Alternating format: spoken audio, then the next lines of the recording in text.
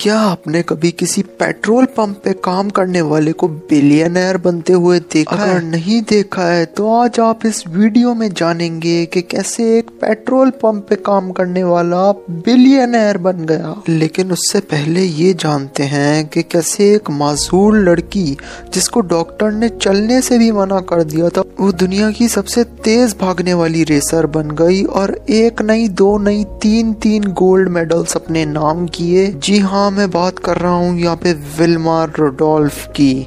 एक cycle repair करने वाले दो भाई कैसे दुनिया का सबसे पहला जहाज़ इन्वेंट कर पाए? जी हाँ मैं बात कर रहा हूँ यहाँ पे राइट ब्रदर्स की। एक माजूर आदमी कैसे चार चार बुक्स लिख पाया और दुनिया का one of the best scientist बना? जी हाँ मैं बात कर रहा हूँ यहाँ पे स्टीफन हॉकिंग्स की। ये सारे लोग अपनी ज़िंदगी में इतना कुछ इसलिए अचीव कर पाए क्योंकि इन्होंने अपना एक गोल सेट कर लिया था। और इन सबने सोच लिया था कि हम लोग ये छोटा मोटा काम करने नहीं आए हैं इस दुनिया में। और इससे पहले भी मैं एक वीडियो बना चुका हूँ जिसमें मैंने बताया था कि कैसे खून बेचने वाला एक बिलियनर बन गया था। तो अगर आप लोगों ने उस वीडियो को नहीं देखा हो तो जाकर देख लीजिएगा और अब आ जाते हैं अपने मेन टॉपिक की तरफ़। धीरू भाई अम्बानी बचपन से ही पकोड़े और समोसे बेचा करते थे, इसीलिए नहीं कि वो गरीब थे, बल्कि वो इस वजह से पकोड़े और समोसे बेचा करते थे क्योंकि उन्हें बचपन से ही कारोबार का शौक था बिज़नेस का शौक था। उसके बाद फिर वो येमन चले गए थे और वहाँ जाकर वो तीन सौ की जॉब किया करते थे और फिर उनका प्रमोशन हो गया था और वो उसी कंपनी के पेट्रोल पंप पे काम करने लग गए थे। जी हाँ। और हैरत की बात तो ये है कि जब भी वो किसी ना किसी गाड़ी में पेट्रोल भरा करते थे तो वो यही कहते थे कि एक ना एक दिन ये गाड़ी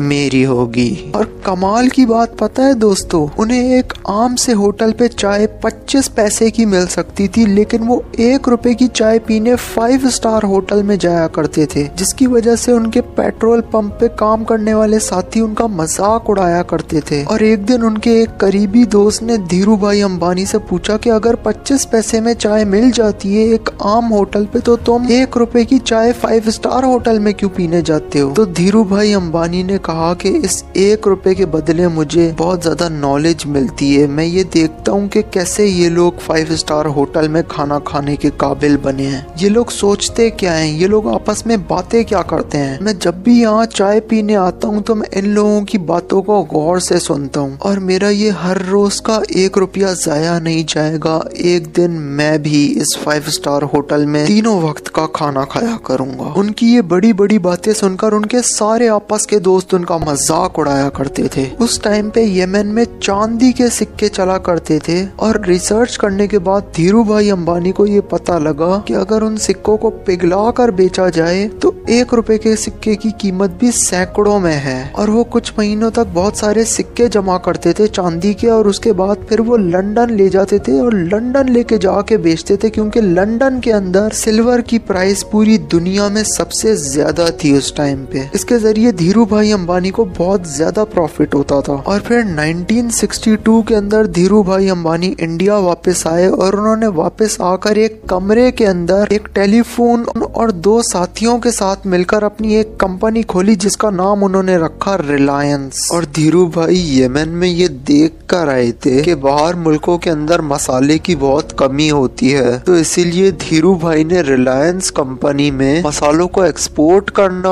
और पॉलिस्टर को इम्पोर्ट करना स्टार्ट किया और फिर इस पॉलिस्टर से अपना एक ब्रांड बनाया, जिसका नाम रखा विमल और धीरू भाई अंबानी येमेन से इतनी ज़्यादा नॉलेज लेकर आए थे कि सिर्फ़ चार सालों के अंदर, यानी 1966 में, वो दो काम करने वाले लोग 85 थाउज़ेंड में बदल गए थे। और जब धीरू भाई अम्बानी ने ये ऐलान किया कि वो अब अपनी कंपनी को शेयर होल्डर्स में तकसीम करेंगे तो सिर्फ़ रिलायंस और धीरू भाई का नाम ही इतना था कि 1977 के अंदर रिलायंस कंपनी के 58 थाउज़ेंड शेयर होल्डर्स हो गए थे। और 1986 के अंदर जब धीरू भाई अंबानी मीटिंग करना चाहते थे अपने सारे एम्प्लॉयज़ के साथ तो उस मीटिंग को एक क्रिकेट स्टेडियम में लगवाना पड़ा था, क्योंकि उस मीटिंग के अंदर पैंतीस हज़ार लोग आए थे। और फिर 1989 के अंदर पाताल गंगा में एक फ्लड आया तो उनकी कंपनी बंद हो गई। और न्यूज़ के मुताबिक उनकी कंपनी को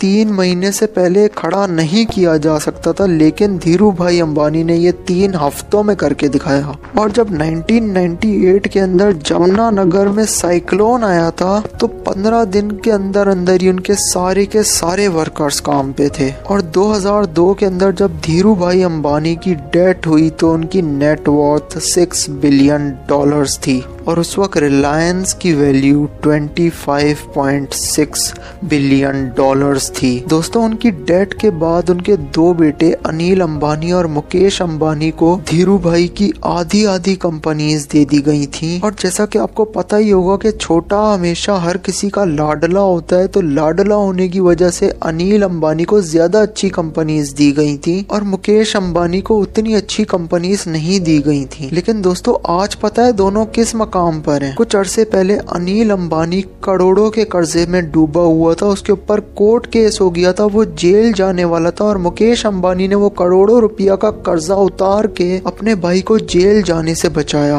और आज मुकेश अंबानी एशिया के सबसे रिचेस्ट पर्सन है और वर्ल्ड में भी टॉप लिस्ट के अंदर उनका नाम आता है। तो क्या वजह थी जिसकी वजह से अनिल अंबानी कंगाल हो गया और मुकेश अंबानी एशिया का सबसे रिचेस्ट पर्सन बन गया? ये अगर मैं आपको इस वीडियो में बताने लगा तो ये वीडियो 20 मिनट की हो जाएगी। इसीलिए इस टॉपिक के ऊपर मैं अगला वीडियो लेकर आऊँगा। तो इसीलिए जल्दी से कर दीजिए चैनल को सब्सक्राइब और बेल आइकन दबा के ऑल पे क्लिक कर दीजिए। मैं मिलूँगा आपसे अगली वीडियो में, तब तक के लिए गुड बाय।